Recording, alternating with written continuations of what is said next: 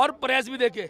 और सबसे बड़ी बात, इस आदमी की मेंटेलिटी ऐसी है। आपने थोड़े दिन पहले विधानसभा में देखा, ये कह रहा था, हम दिल्ली के मालिक हैं, हम दिल्ली तय करेंगे। आज क्या कह रहा है? प्रधानमंत्री पे 800 करोड़ रुपए हो गए, एक हज़ार रुपए का प्लेन ले लिया। अरे भैया, वो देश के प्रधानमंत्री हैं, उनको बनाया इसी हिसाब से जाता है कि कोई एयर अटैक ना हो जाए, कोई रॉकेट से अटैक ना हो जाए। क्या तुम उसकी बराबरी करोगे? जब तुम आए थे वैगन लहरे के आए थे और कहा था, मैं दो कमरे में रहूँगा, मैं तीन कमरे में रहूँगा, मैं चप्पल में चलूँगा। आज भी तीन पाँच रुपए का पेन अपनी जेब में लगा के रखता है ये आदमी।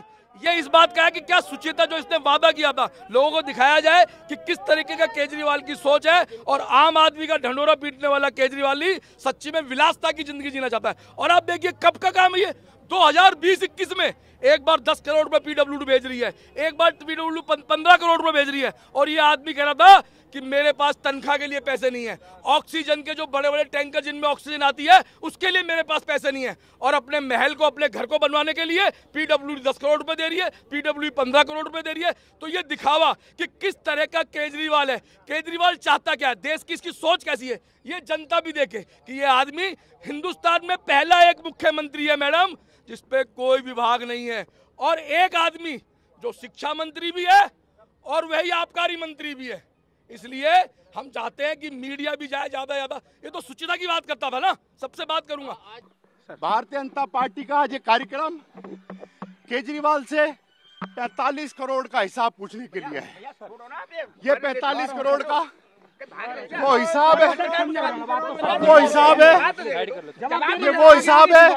जब देश कोविड से लड़ रहा था दिल्ली कोविड से लड़ रही थी तो जब अरविंद केजरीवाल ये जो घर बना है पीछे ये दिल्ली की जनता की गाड़ी कमाई से है।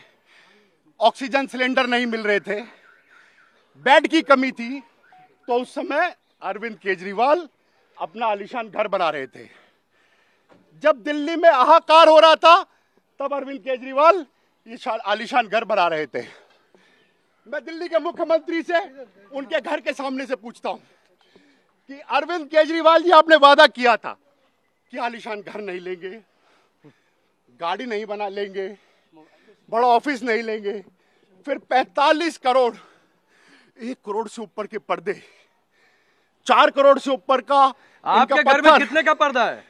दो हज़ार पाँच हज़ार सबके घर में। तो आम अगर आदमी कोई आम आदमी का जो नेता हो उसके घर में लाखों करोड़ों के पर्दे ये आम आदमी हजम कर सकता है क्या? एक एक एक कहानी बताता हूँ साथियों। एक महाठग था। उस महाठग ने दिल्ली की जनता को ठगा और बोला कि देखिए मैं आपको नए राजनीति करके दिखाऊँगा।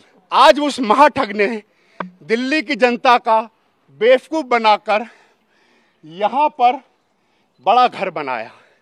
ऑक्सीजन सिलेंडर नहीं दिया। उसने बेड प्रोवाइड नहीं कराए। उसने वैक्सीनेशन मेडिसिन प्रोवाइड नहीं कराई। केजरीवाल महा झूठे हैं। माँ ठग है। वो एक है ना, पर्दा है, पर्दा। पर्दा उठ गया तो भेद खुल जाएगा। पर्दा उठ चुका है, भेद खुल चुका है कि केजरीवाल महाठग हैं।